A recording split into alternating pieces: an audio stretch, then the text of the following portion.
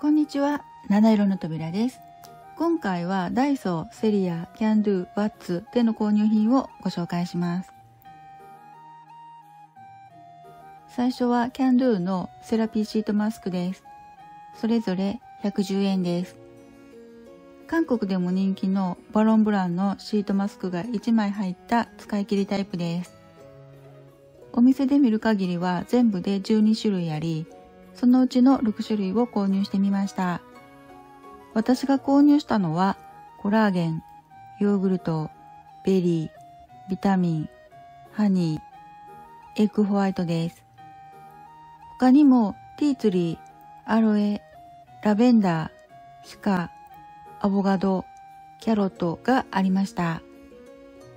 コラーゲンは加水分解コラーゲンの成分で、角質層の隅々まで浸透するため、優れた保湿力で張りと弾力のある肌へと導いてくれます。ヨーグルトにはヨーグルトエキス成分で肌荒れ改善やシワ改善作用、ニキビ抑制作用、保湿作用、美白作用、免疫低下抑制作用があります。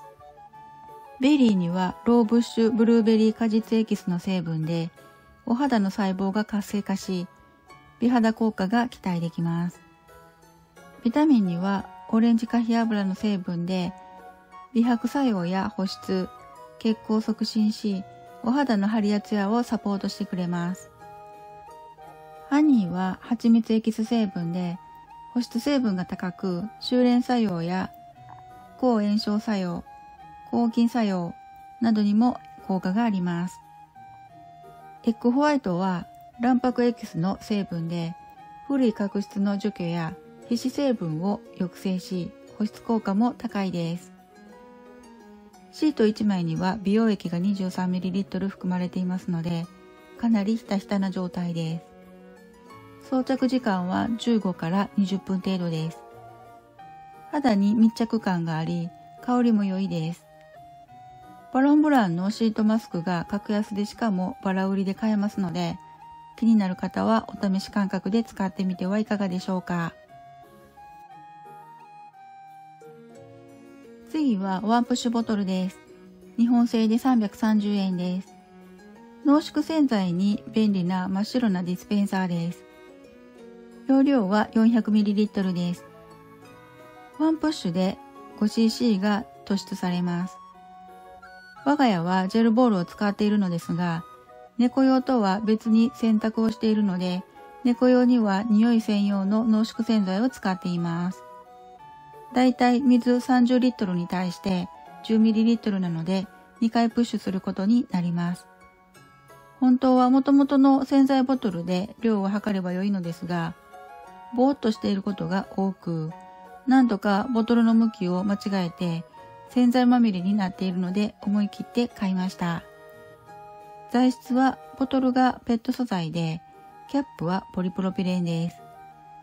こちらの容器の中には、シンナーや除光液などの有機溶剤、高濃度アルコール、酸性、その他危険が伴う内容液は入れないようご注意ください。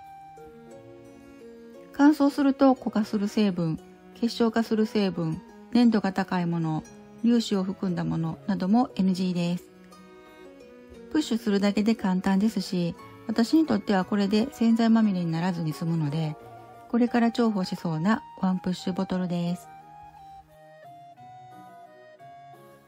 次はワッツの今治タオルです。それぞれ330円です。ワッツではカラフルで可愛いデザインの今治タオルが販売されています。全部に認証マークがついています。材質はもちろん綿100%のフェイスタオルです。私は花柄とパン柄、あと猫柄を選びましたが、星のデザインやドット柄もありました。カラーはそれぞれのデザインに2色ずつあります。私は買っていませんが、グリーンのタオルもありました。こちらは花柄です。タオル一面にお花が浮き上がったようなエンボスになっています。こちらはパン柄で、バゲットやクロワッサン、コロネなどがデザインされています。ところどころに猫もいてとても可愛いデザインになっています。こちらは猫柄です。様々な猫のシルエットや肉球があり、猫好きにはたまらないデザインだと思います。これらタオルの厚みは薄くも分厚くもないので使いやすいと思いますし、洗濯で乾きが遅いということもなさそうです。私が買ったお店では猫柄が一番人気のようでしたが、気になるデザインがあればお店で探してみてください。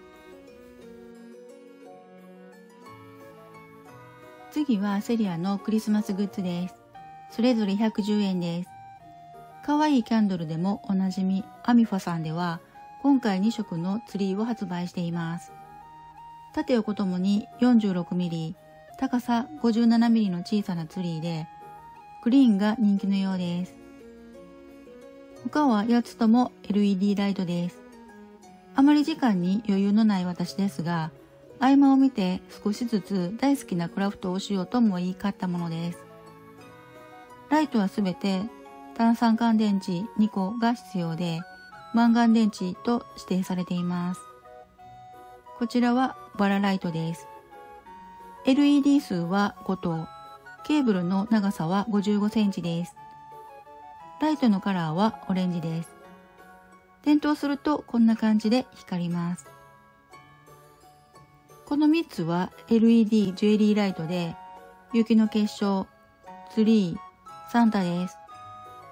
どれも LED は5灯で、ケーブルの長さは70センチです。雪の結晶はレンズを通すと青っぽく見えますが、実際はホワイトです。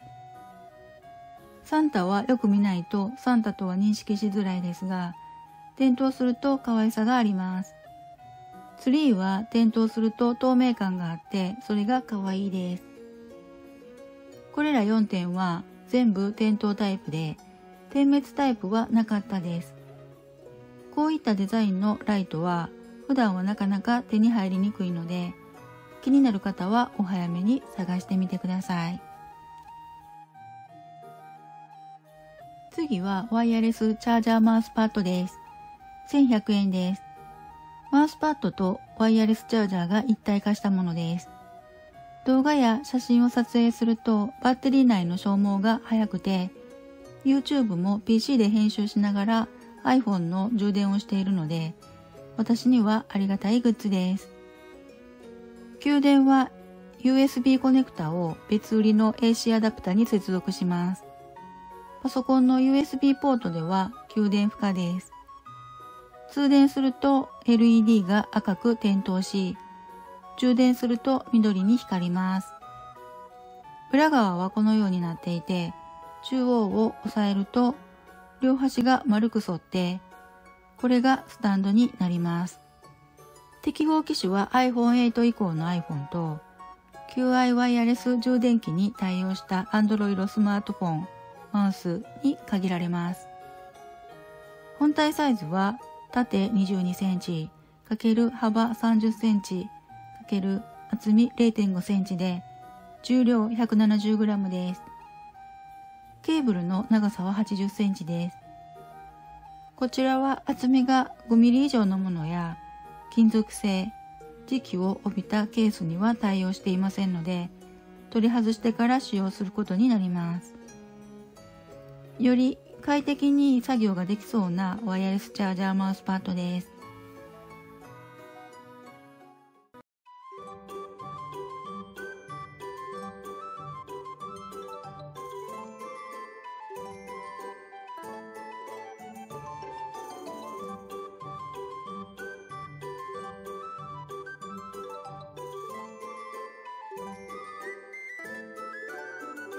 Música